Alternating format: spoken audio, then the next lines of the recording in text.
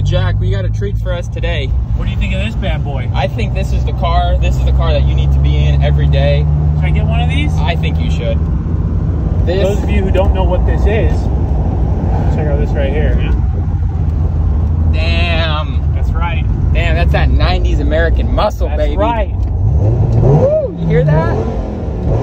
All six cylinders. Uh, 10. Right, right, American. Okay. Any, anyway, guys, 96 Dodge Viper. RT10 This because is the good stuff. You want to get out real quick and show it to him? oh no, yeah, I will. Show it to him real quick. There's no door handles on the outside. It's really cool. which means you can only open it from the inside. And getting into this thing is like full on go kart. This car Look at this guy. Nice with the uh, cool stripes like always black, silver. And you know what? The iconic thing that I love is these wheels. This car the early 90s. This was an icon of the early 90s in automotive design. They brought the Daytona shape back uh, ever since Carroll Shelby did it with the Shelby Daytona. This was the first car to bring that shape back, and it's the most beautiful shape in the automotive world. Ferrari did it, Shelby did it, Dodge did it. Any of the most iconic, beautiful cars usually have that that design. So even the RX-7, the Mazda RX-7, they did it, smaller version. Uh, you can take it back you there. I'll meet you there. Huh? I'll meet you up there. Will you? I'm gonna see this sexy back end. Oh yeah.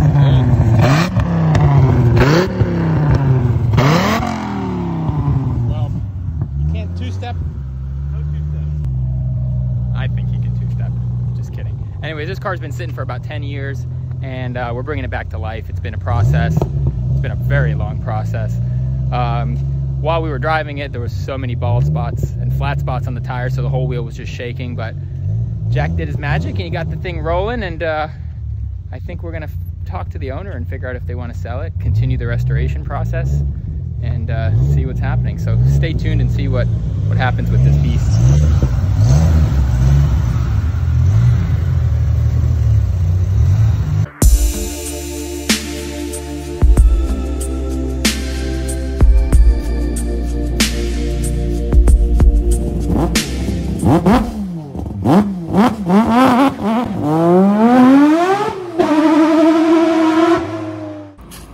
This pile is back. This pile of beauty, It's back and it's better than it was. dude.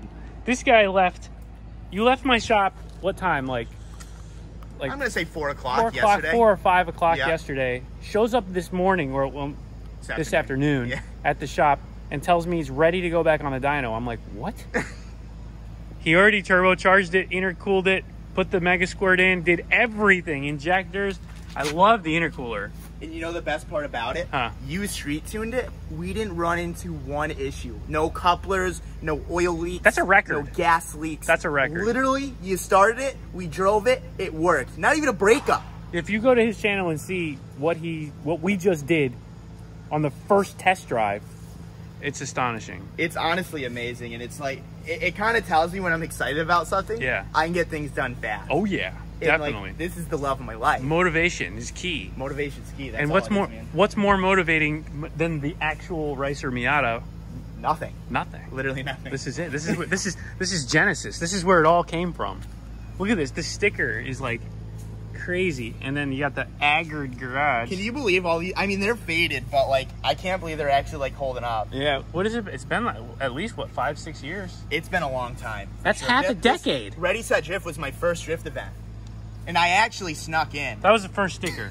Yeah. You snuck in. Yeah, my first event I used That- the well- well, because I was a poor boy. Oh, the subway days. This eh, before the subway. The before days. subway. Yeah, you were dude, real I broke. Was broke. Jeez.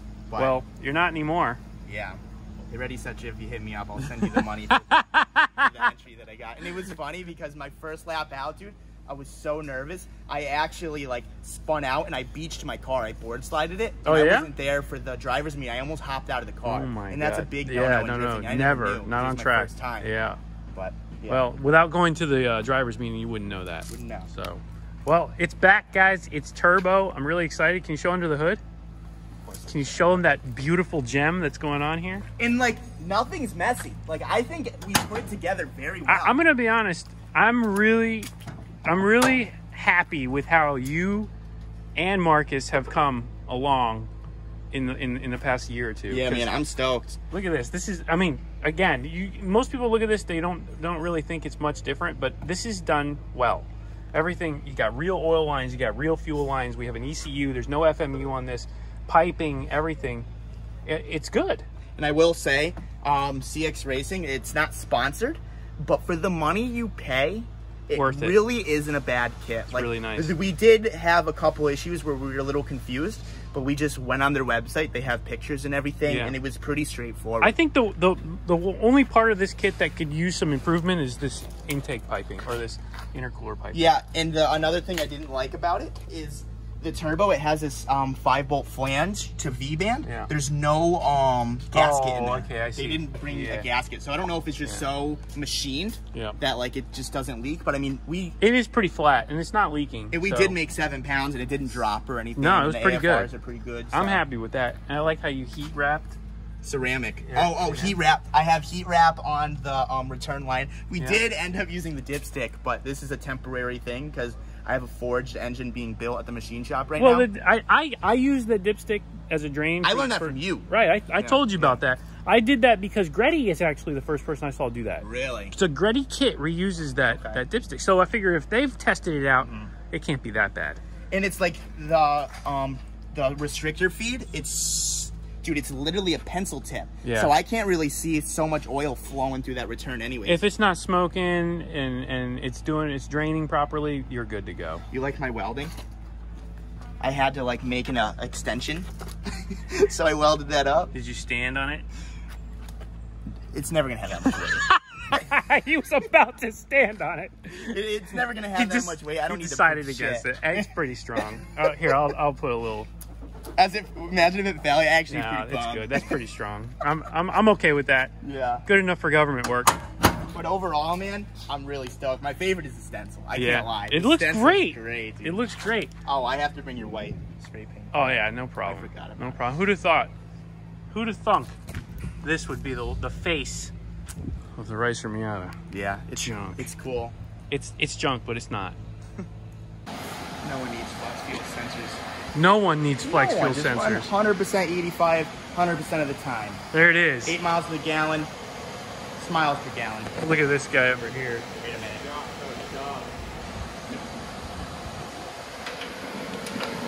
Fixed. Done. Actually, right. that doesn't spin, so I guess it didn't matter. So we've got Rudnick's Ricer Miata back on the dyno, this time with E85. It's gonna make more power. It's gonna make over 200. I want to see 220 today. That would be great. That's like my goal right now. You think Um, you think that wastegate actuator is gonna be able to be cranked up that high? just put a T in it. Just right? take it off. That's a. Just pull the line off. We do have a boost gauge. There you I, go. I'm okay with 15 pounds. 15 pounds. 15 pounds. I don't want to go anything more than that. What do you guys think's gonna happen? You take it off, that turbo's not gonna last a week with him driving. You think so? China. Turbo, That's when you buy a Garrett and then you make 300. the Wuhan War Whistler. I was already sending it out here yesterday. I'm like, I was heck is that? sending it. Yeah. Yeah, that street tune did me good. Okay. Second gear drifts. That Ching Chong Oh, Choo Choo. yeah. In Mexico, dude, I was, I was turning it. Okay. Well, that's good. So we're gonna turn the boost up right now. We're gonna crank this thing up with the 85. Let's see what it can do. It's so hard. What? That's a great way for me to start this clip. It's so hard, man. You know. Yeah. It, it's, it's hard to get ahead. Is hard. Jeez. welded diff, man. Yeah, it's crazy. All right, so we just got done on the dyno. It made some good numbers. Good numbers. Chris is happy. We're just gonna send it. Ready? Yeah, that's fine. We're gonna see how. it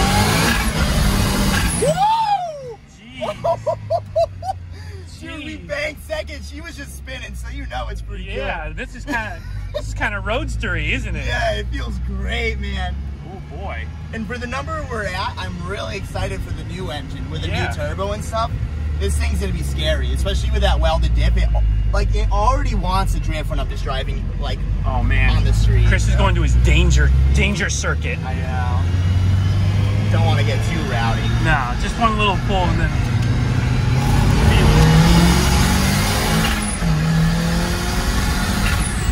Feels Not good, bad. Man. Not bad. I'm pumped on it.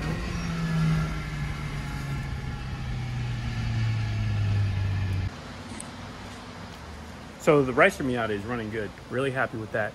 He's going to take that to the track, or not to the track, but to the uh, drift spot at the compound, and he's going to slide that thing around. So in the meantime, now I got the dash for this car, and I mounted it up. Kind of ghetto mounted it for now, but this is a good position. Nice, easy to see. I just have to get the cable, but it's all hooked up. So you can see the display is going to be very nice. This is this is how it's going to kind of look. So I'm pretty happy with that. That's the IQ3. Fits nicely. That'll replace the old worn out Apex tach that I had. It's it's trash now. But upgrades, upgrades are good.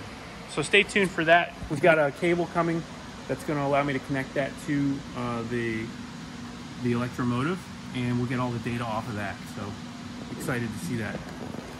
Sam it! Yo, Damn it, Sam it! what? What do you think? You think Ricer Miata is going to last? Or you think it's you think its days are numbered? I think it is. Just Yeah. because of that turbo. It's, pretty sad. It's chintzy. yeah. I could hear it. I It was know. t- it was tearing itself apart. But we'll see.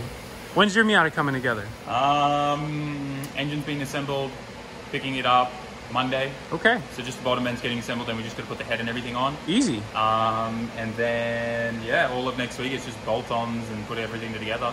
So if we're lucky by next end of next weekend. But uh, I may have a little secret. Oh, about. oh, okay.